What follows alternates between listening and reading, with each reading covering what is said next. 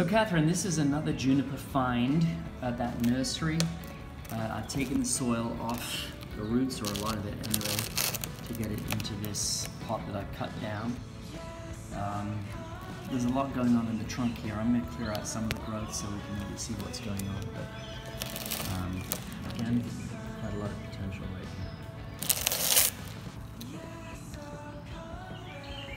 here. So Kathryn, this is the tree after I put it in this pot.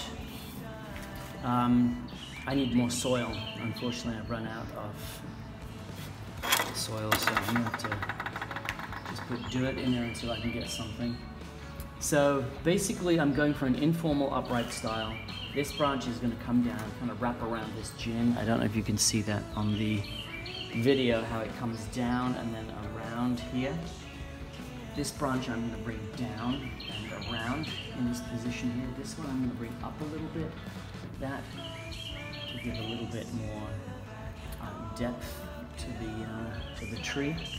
And then I'm gonna bring all of these down to create some kind of a canopy right up there. I'm probably gonna take it in quite significantly at the top as well. Um, but I think that's a fairly convincing tree, considering that half an hour ago it was just a beaten up shrub from a garden center. So I think we're off to a good start. Let's hope I can keep it alive.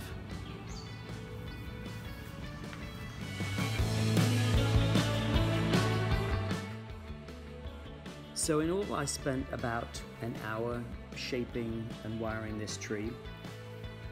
It's clearly got a way to go, but I'm really very pleased with the overall effect. I think it's a very convincing informal upright.